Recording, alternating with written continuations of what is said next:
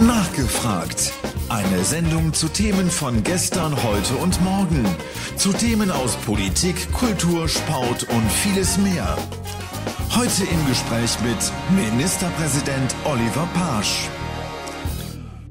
Herzlich willkommen zu der Sendung Nachgefragt. Heute mit dem Ministerpräsidenten der deutschsprachigen Gemeinschaft, Herrn Oliver Pasch seit 2004 Minister der Regierung der deutschsprachigen Gemeinschaft und seit 2014 Ministerpräsident, das heißt in der neunten Regierung.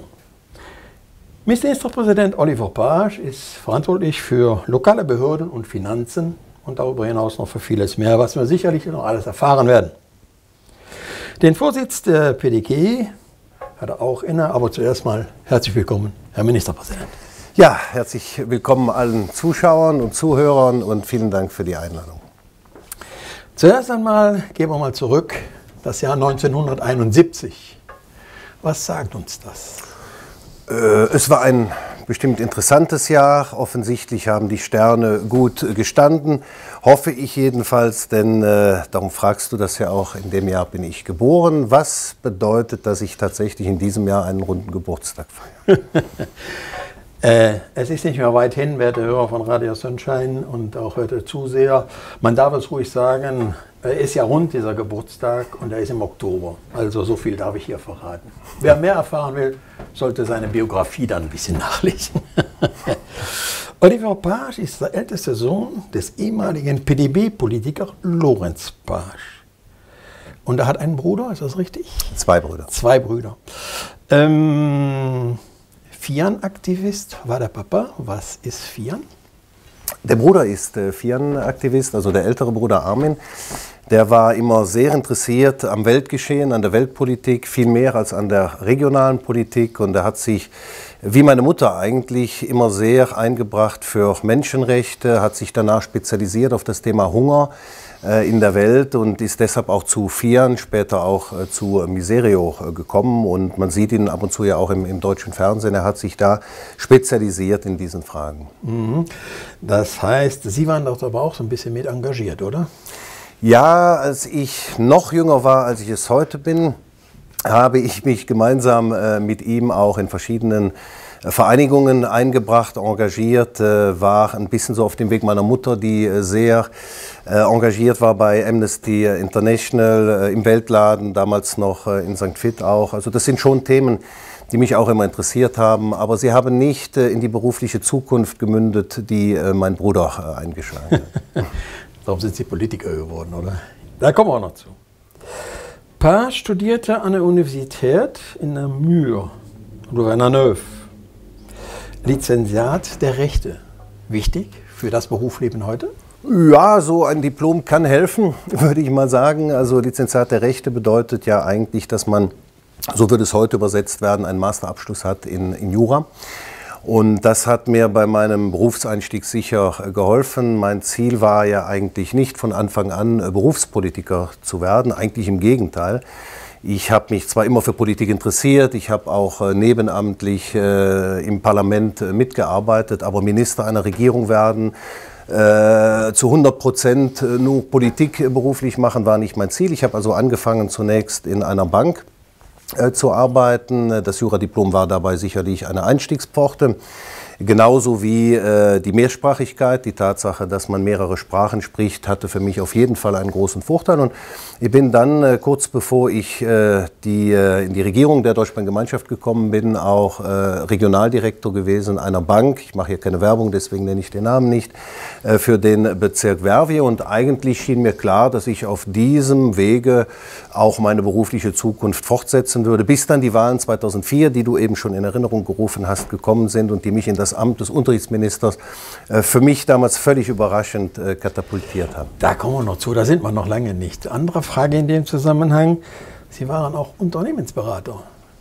Ja, ich habe in der Bank äh, eine doch sehr vielseitige Ausbildung gemacht äh, als Kreditanalyst, habe auch äh, gearbeitet äh, am Börsenparkett, wenn man so will, habe mich mit Anlagen beschäftigt und bin dann nachdem ich die verschiedenen Facetten dieser Tätigkeiten kennengelernt habe, ähm, zum Unternehmensberater geworden, zunächst in Lüttich, später äh, in Verviers und habe dann ganz äh, zeitnah zu den Wahlen 2004, wenige Monate zuvor, auch die Leitung des entsprechenden Zentrums, also des Bezirks Verviers, äh, übernehmen dürfen.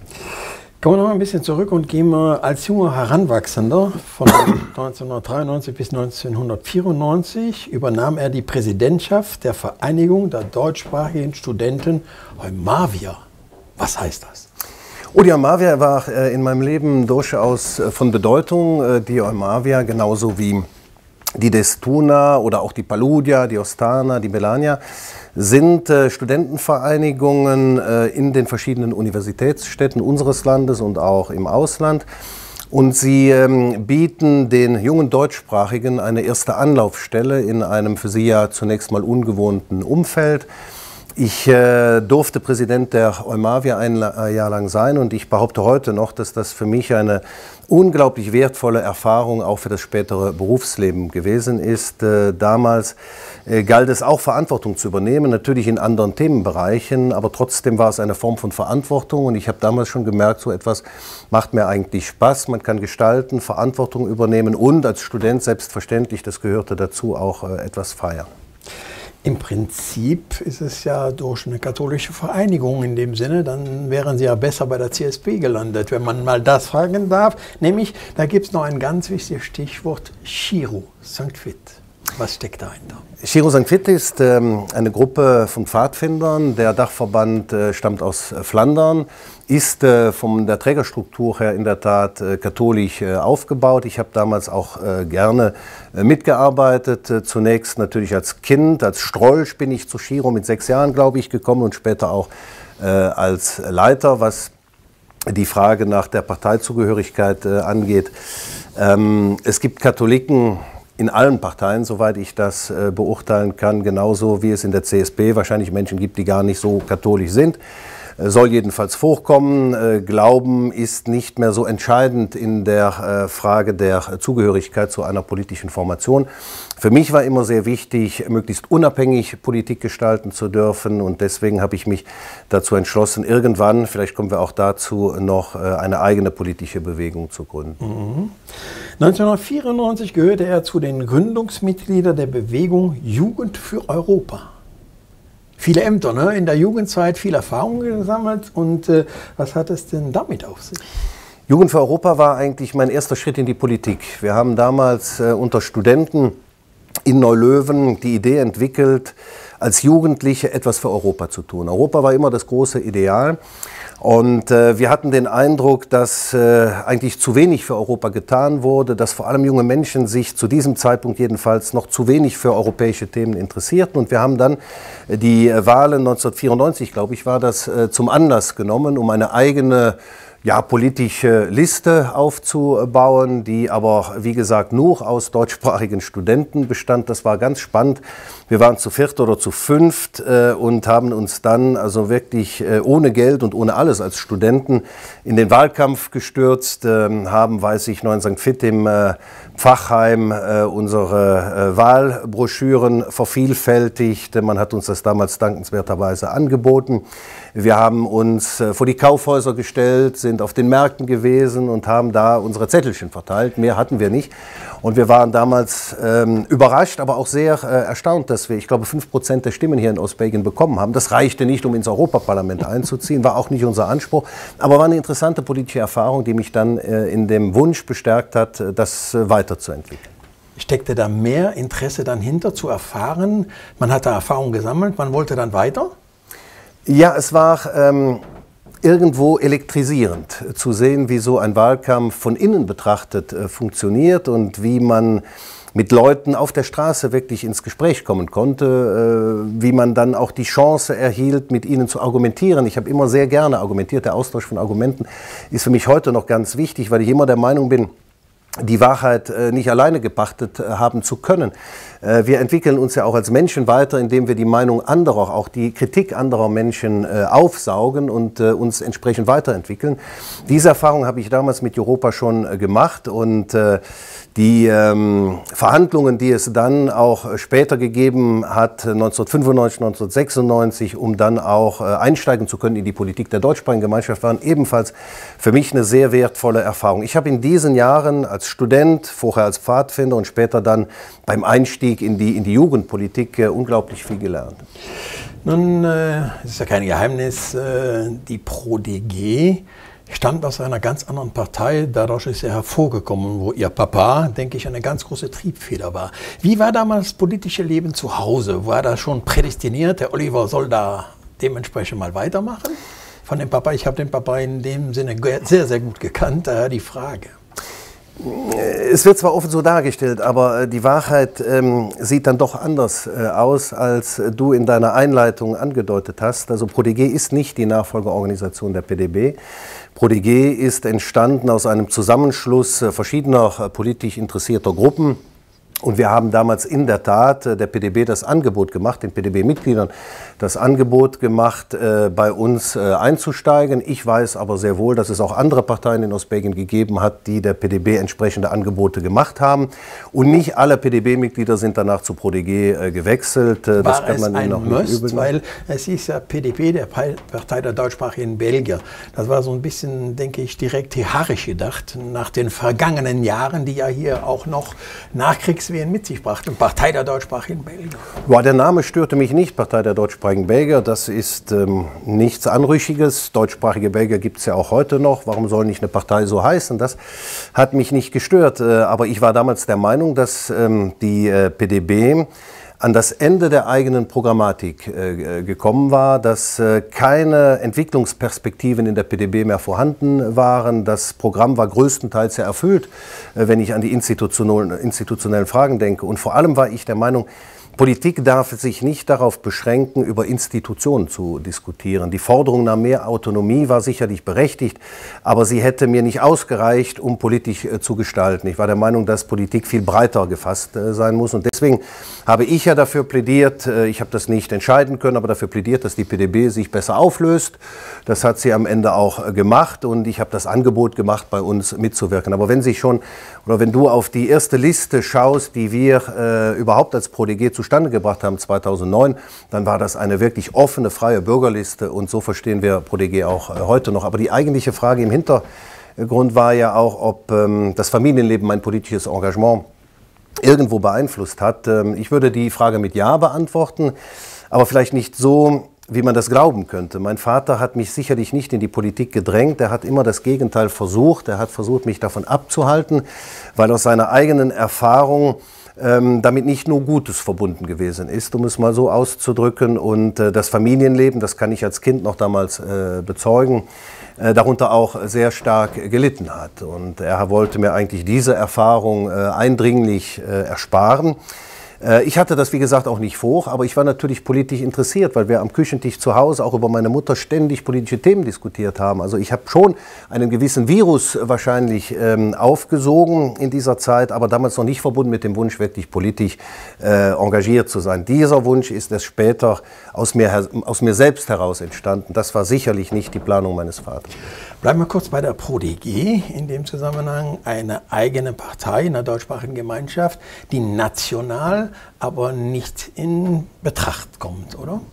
Sie kandidiert nicht national, das muss sie auch nicht. Ähm, es gibt ja in Belgien, wenn man genau hinschaut, überhaupt keine einzige nationale Partei. Es sind äh, nur regionale Parteien.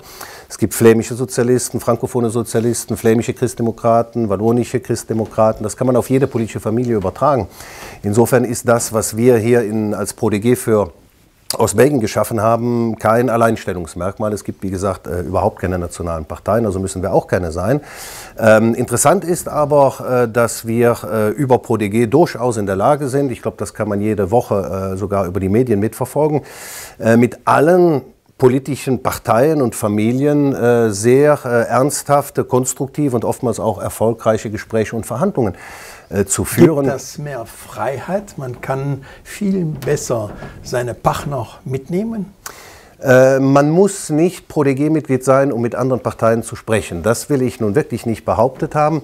Aber ich selbst empfinde es, und das gilt für mein gesamtes politisches Sein, als angenehm, von einem Verhandlungspartner nicht in irgendeiner Form abhängig zu sein. Ich äh, bin immer dankbar dafür, äh, mit den Mitgliedern anderer Parteien diskutieren zu können, auf Augenhöhe äh, und das auf der Grundlage von sachpolitischen Argumenten, ohne darüber nachdenken zu müssen, bin ich jetzt dessen Mitglied ähm, und äh, vielleicht oder riskiere ich gegebenenfalls etwas, wenn, wenn ich jetzt eine bestimmte Position einnehme.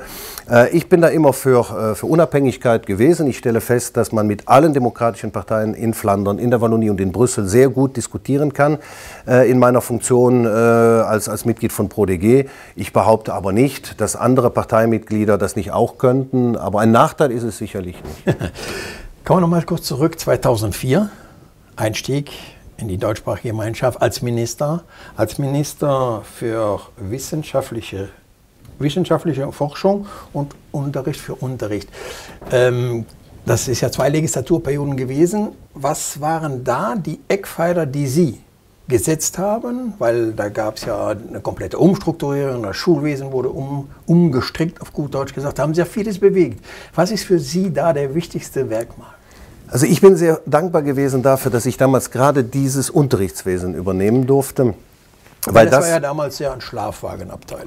Würde ich nicht behaupten, aber ähm, es war ein Thema, das mich beschäftigt hat. Äh, du sprachst ja eben schon mein äh, Engagement in Studentenvereinigungen an. Ich könnte das in Schülerzeitungen in den Zeiten zuvor auch noch hinzufügen. Also Unterricht, Bildung war für mich immer wichtig, weil Bildung eben über die Lebensperspektiven jedes einzelnen Menschen entscheidet.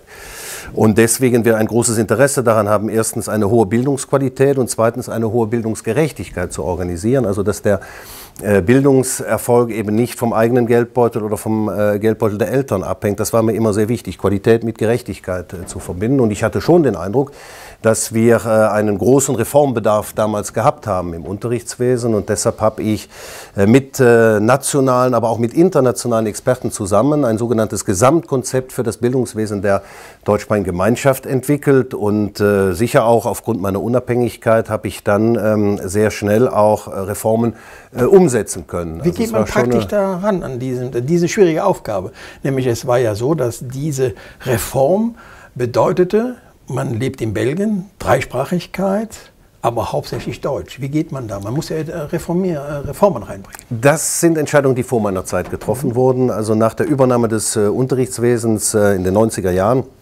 war klar, äh, dass äh, in der deutschsprachigen Gemeinschaft, in den Schulen der deutschsprachigen Gemeinschaft die Hauptsprache Deutsch sein würde, so wie das anderswo im Land ja auch äh, organisiert wurde. Ähm, das sind Dinge, mit denen ich mich nicht mehr zu beschäftigen hatte. Ich habe das Unterrichtswesen so übernommen, wie es schon strukturiert war 2004. Aber ich habe in der Tat mich sehr dafür eingesetzt, ähm, mehr zu tun für die Mehrsprachigkeit. Äh, von der wir damals schon feststellen mussten, dass sie Probleme bekam. Immer weniger äh, deutschsprachige Studenten waren in der Lage, im ersten Studienjahr in der französischen Gemeinschaft äh, mitzukommen. Es gab Sprachnachteile und ich wusste das aus eigener Erfahrung.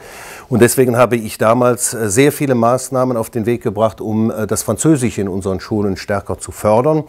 Äh, habe aber auch im Nachhinein die Erfahrung gemacht, dass ähm, politische Entscheidungen, politische Maßnahmen alleine nicht reichen, um die Sprachkenntnisse eines Menschen zu verbessern. Dazu gehört sehr viel mehr.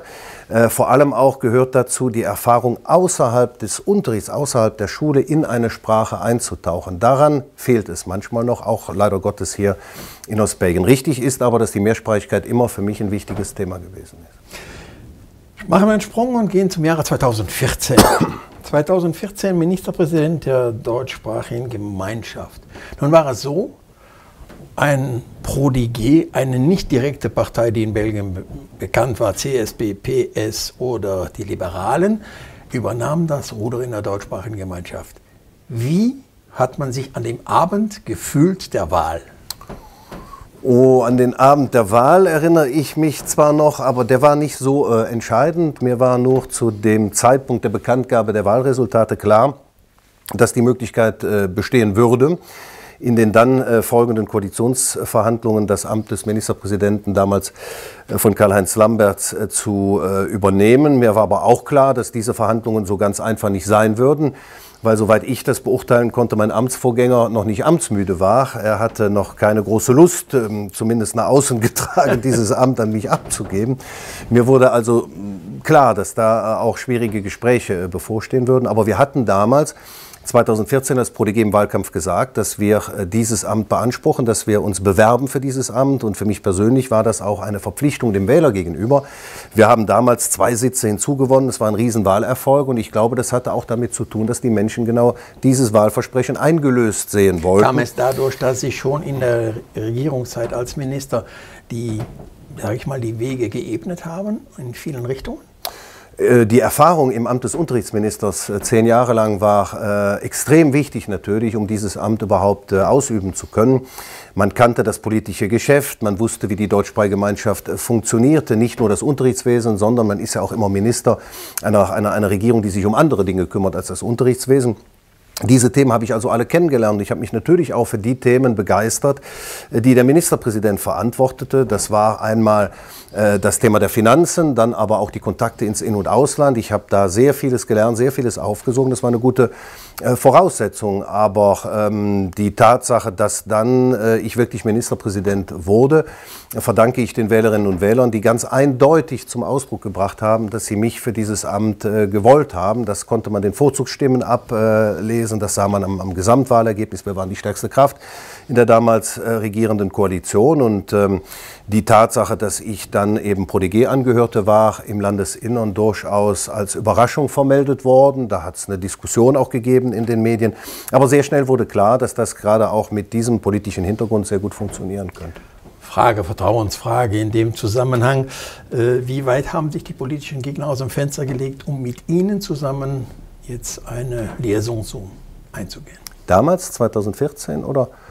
Ja, 2014 habe ich äh, mit allen Parteien natürlich diskutiert, äh, um zu schauen, welche, welche Mehrheit möglich sein würde. Aber wir hatten sehr schnell uns darauf verständigt, dass die damals amtierende Koalition aus ProDG, PFF und SP weiter regieren würde. Die Frage, die es zu beantworten galt, natürlich, ähm, wer übernimmt hier welche Funktion. Und ich habe natürlich sehr deutlich darauf bestanden, dass ich das Amt des Ministerpräsidenten vom Wahlergebnis war, das ja auch legitimiert, ausüben würde. Karl-Heinz Lamberts ist damals Parlamentspräsident geworden. Andere haben ihre Ämter fortführen können. Für uns war damals schon wichtig, dass Harald Mollers als zweiter Minister weitermachen konnte. Das ist uns in den Koalitionsverhandlungen gelungen. Aber natürlich hat es im Laufe der Jahre seit 2004 immer auch mal Angebote anderer Parteien gegeben, um mit uns Koalitionen zu bilden, genauso äh, wie wir uns ja auch manchmal offen erklärt haben dazu. Nur beim letzten Mal war für uns klar, 2019 dann, dass wenn die äh, Menschen diese Mehrheit bestätigen würden, wir natürlich eine solche Koalition fortsetzen würden. Das muss beim nächsten Mal nicht mehr so sein.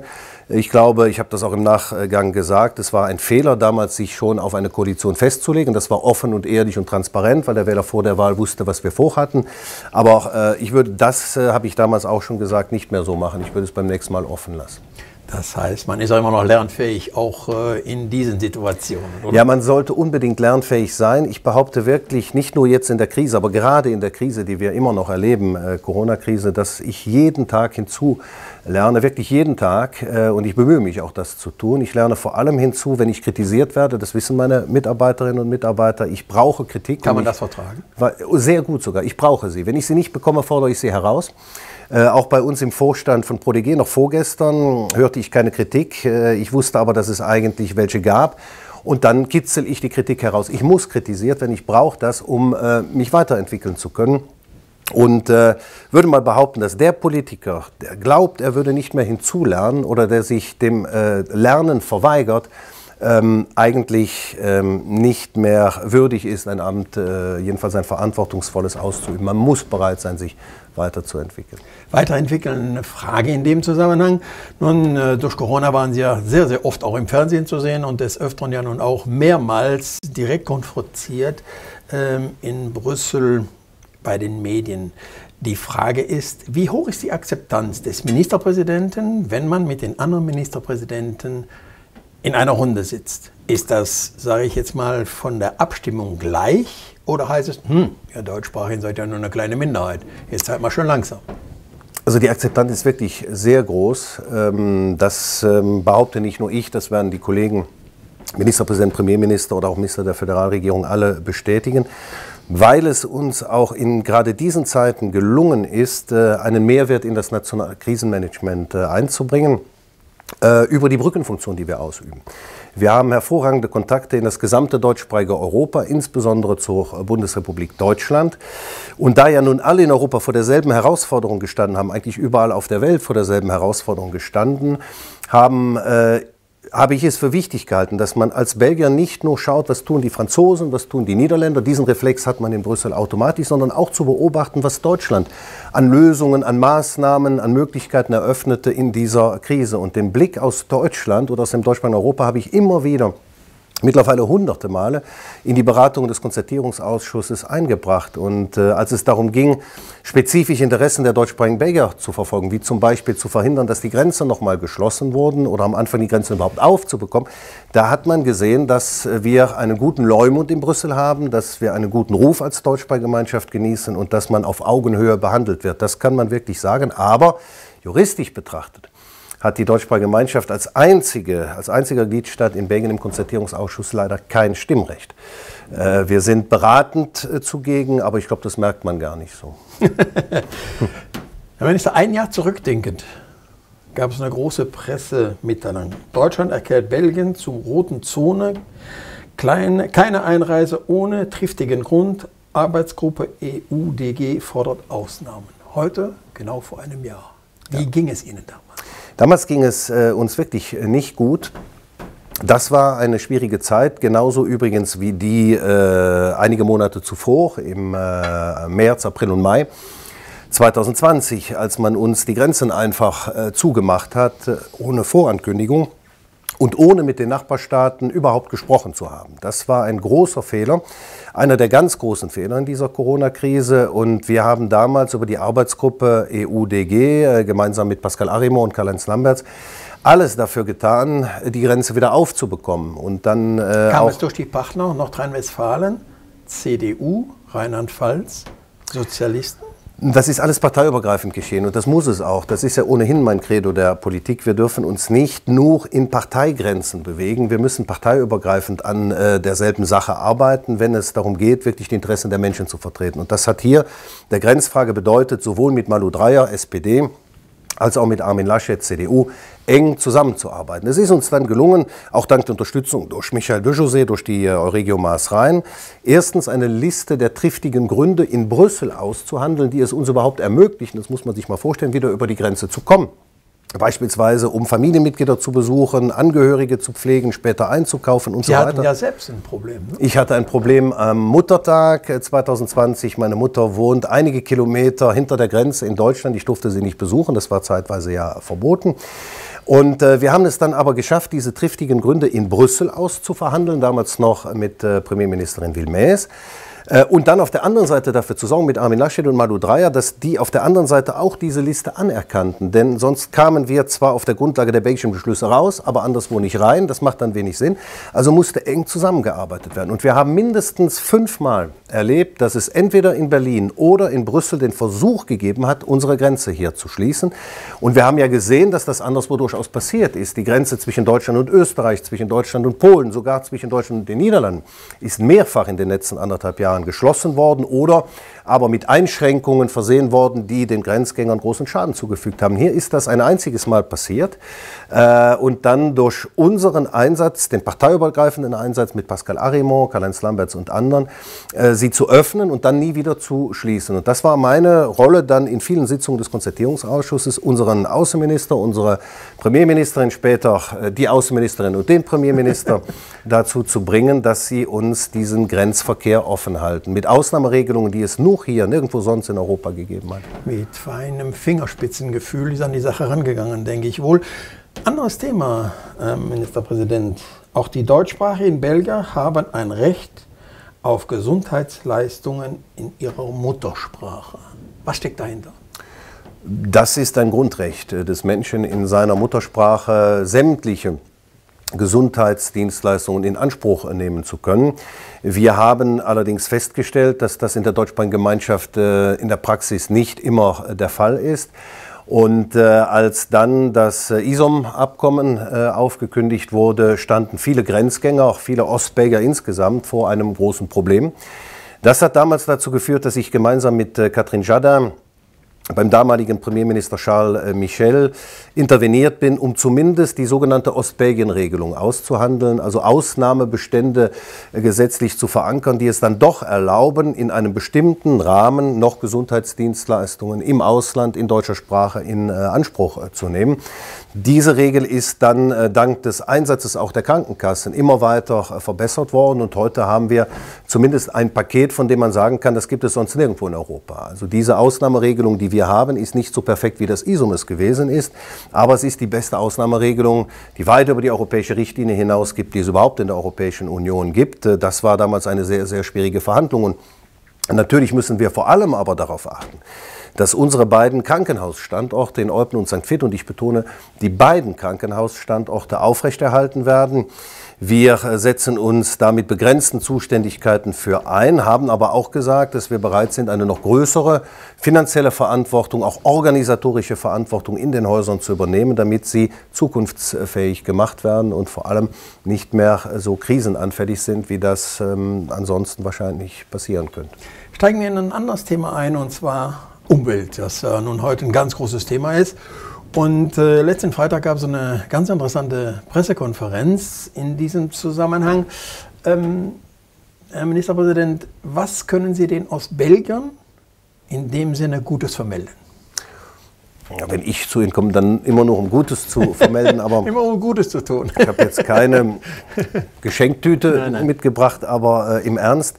Äh, Klimaschutz, ich habe das gesagt auf dieser Pressekonferenz, äh, ist die größte, die dringlichste, die herausforderndste Aufgabe der Menschheit. Das kann man wirklich so festhalten, denn es geht um nicht weniger und nicht mehr als den Fortbestand der Menschheit. Wir müssen also alle bemüht sein, einen Beitrag äh, zu leisten, um gegen den Klimawandel anzukämpfen. Nun ist mir sehr bewusst, dass die kleine deutschsprachige Gemeinschaft den globalen Klimawandel nicht aufhalten kann. Aber wir müssen global denken und lokal handeln, genau wie alle anderen auch. Nur so, gemeinsam, indem jeder seinen Beitrag leistet, kann man Klimaschutzpolitik machen. Und wir haben als Deutschsprachige Gemeinschaft gesagt, wir nehmen diese Verantwortung ernst. Wir nehmen 181 Millionen Euro in die Hand äh, als Deutschsprachige Gemeinschaft in den nächsten zehn Jahren, um Klimaschutzmaßnahmen zu fördern. Und ein Teil davon wird fließen in Energieprämien für private Haushalte. Wenn man also Arbeiten am eigenen Haus verrichtet, äh, die der Energieeffizienz dienen, dann kann man auf Prämien zurückgreifen. Ein anderer Teil wird äh, den Vereinen, den Gemeinden zugutekommen. Es wird in der Deutschsprachigen Gemeinschaft in Zukunft möglich sein, auch für einen Verein äh, Energiemaßnahmen zu 80 Prozent bezuschusst zu bekommen. Das ist der höchste Satz der DG, das ist auch der höchste Satz in Belgien.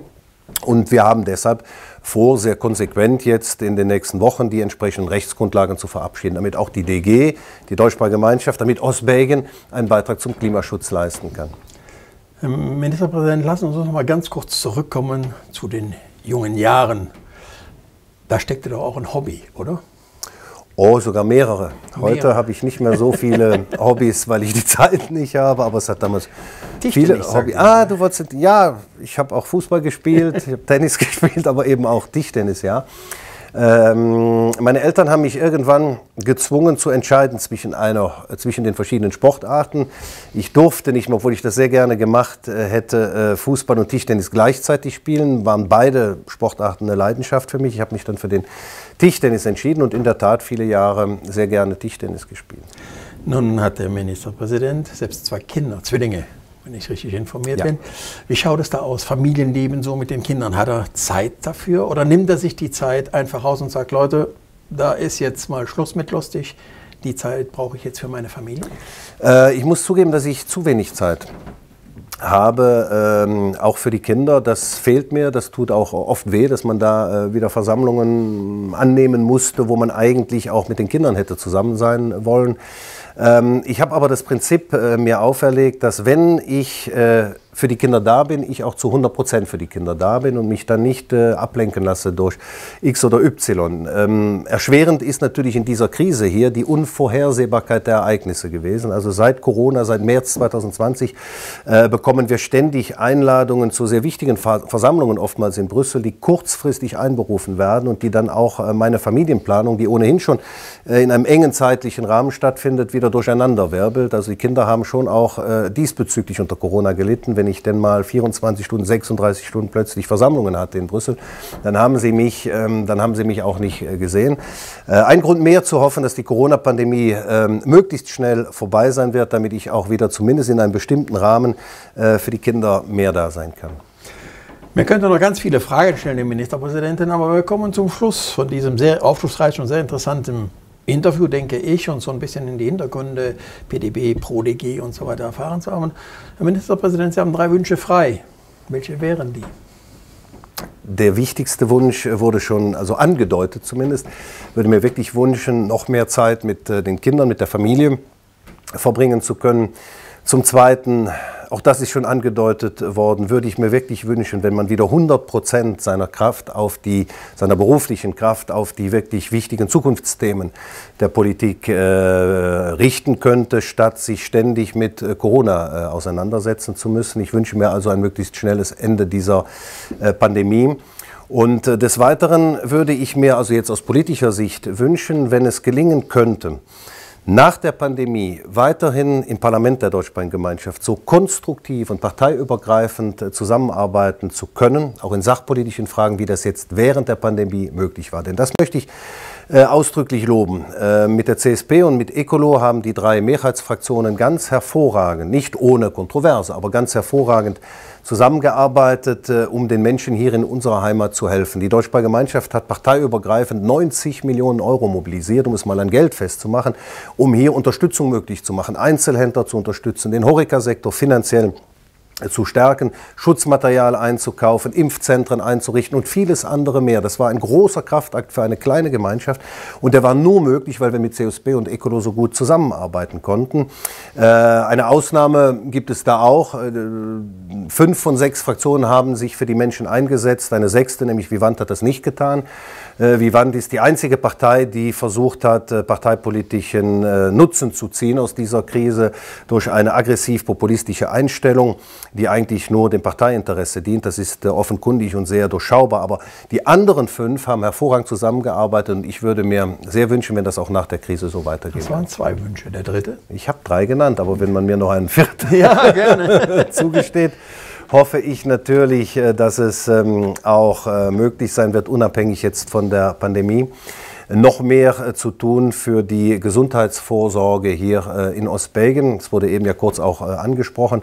Eine der wichtigsten Lehren, die wir zu ziehen haben aus dieser Krise, ist, dass wir mehr tun müssen für Prävention im Gesundheitssystem und dass wir ein großes Interesse daran haben, auch die entsprechenden Prioritäten so festzulegen, dass beim nächsten Ansatz einer solchen Krise wir besser gewappnet sein werden, als das leider Gottes im März 2020 der Fall war.